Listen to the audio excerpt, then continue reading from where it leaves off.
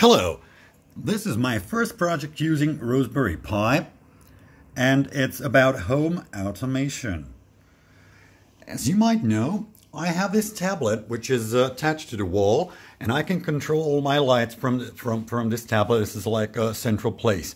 But uh, the other thing that would really be nice is to be able to display information gathered from all the sensors.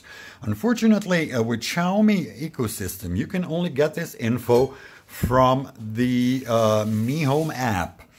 And uh, I want to display it on this tablet, which is using Square Home Launcher. And uh, I simply like it this way. So that's why I designed this page which displays uh, all the different sensors. There is gas density, there is smoke density, there are three uh, temperature sensor, uh, five temperature sensors, and there, there are two gateways and four motion sensors for the, uh, the time being. of course, I'll have uh, yet to add a door sensor. Of course, in order to do that, we need some uh, script or something that is acquiring the gateway and and collecting this information. So that's why Raspberry Pi is here. So we will connect to Pi.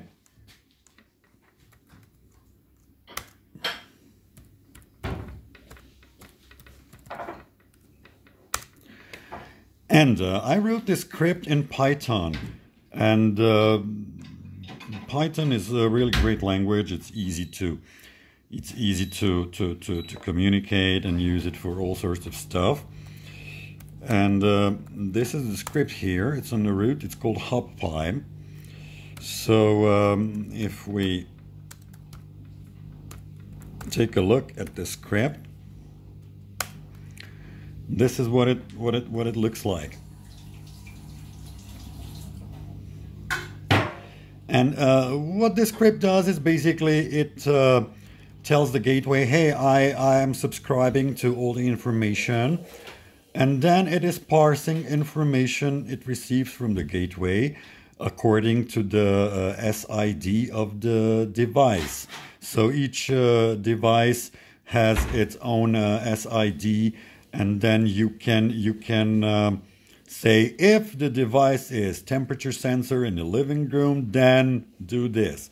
What basically it just resends the information it receives from the hub it resends it to the uh, tablet. Uh, so let's just see what it looks like when we run this script. We'll just write Python hub pi.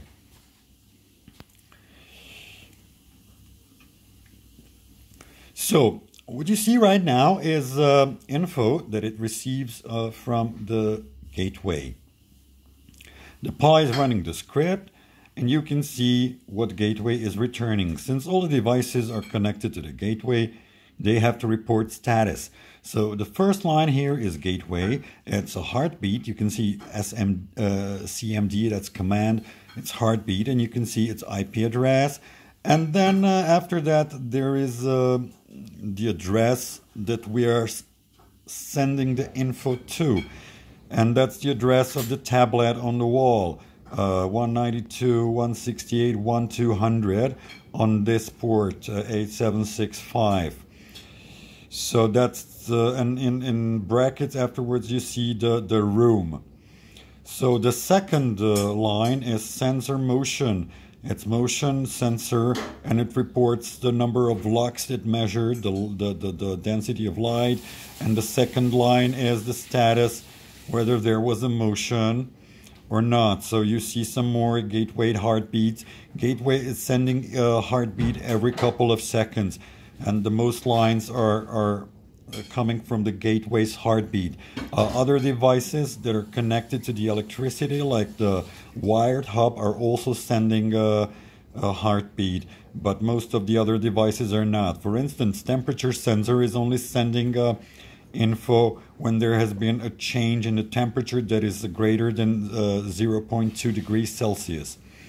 So here you can see uh, weather V1, that's the temperature sensor. It reports temperature and humidity and pressure. And then you see motion sensor. It reports even the voltage of the battery. So as you can see, we, we are receiving all sorts of data from sensors, mostly motion sensors. If somebody's moving through the house, we can see this one, uh, uh, CTRL neutral. Uh, and that one is not being resent. You see, it's not being sent. That's probably a wired uh, Aqara switch. We don't need information about it. But uh, as I told you, we're connecting info from all the temperature sensors and all motion sensors, and I have yet to do uh, door. So I can display the status of the door, whether it's open or closed. Okay, so we can just uh, uh, end this script, and uh, I will I will um, I will just uh, run the script. Uh,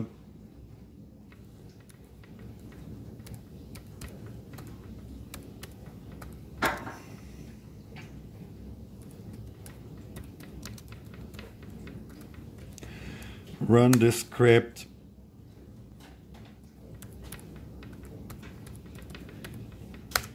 as a service.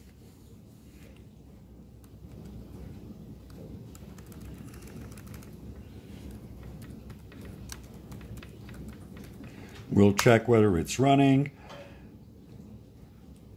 Started home hub Python script. So as you can see, the script is running. Okay.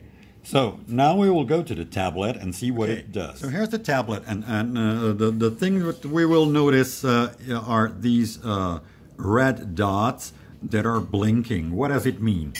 Uh, so every time a gateway sends a, a heartbeat, I am displaying a green dot, which then turns to yellow and then turns to red. This is only indicator of how stale the data is. So if uh, the, the dot is red, it means it's the old data. If it's green, that means it's just received something. And if it's yellow, it's somewhere in between. So for Gateway, I uh, set it up to, to one second only, so you can see it's constantly blinking.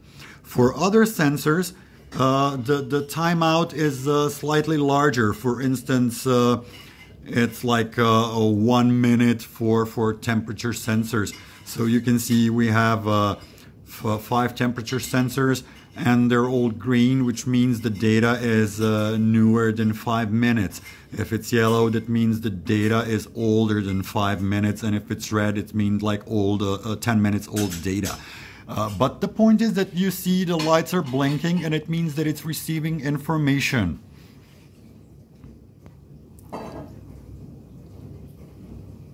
Also, when, when there is movement uh, on the, the, motion sensors, the sensors should uh, blink in red, this, uh, not the dot. You see, uh, the sensors are showing uh, in, in seconds when they were last activated. So that means that, for instance, this sensor in the entry was activated 180 seconds ago. This is only approximate time. And it measured zero lux, which means that it's dark in there. So all of this was uh, made uh, using Tasker and uh, network plugin, which receives data which we are forwarding from Raspberry Pi to this tablet. So now there, there is a way to display the data like this. And the, the widgets themselves were made using Zoom, which is a Tasker uh, add-on which uh, allows you to make uh, different widgets on your home screen. So that's about it, and uh, thanks for watching. See you next time.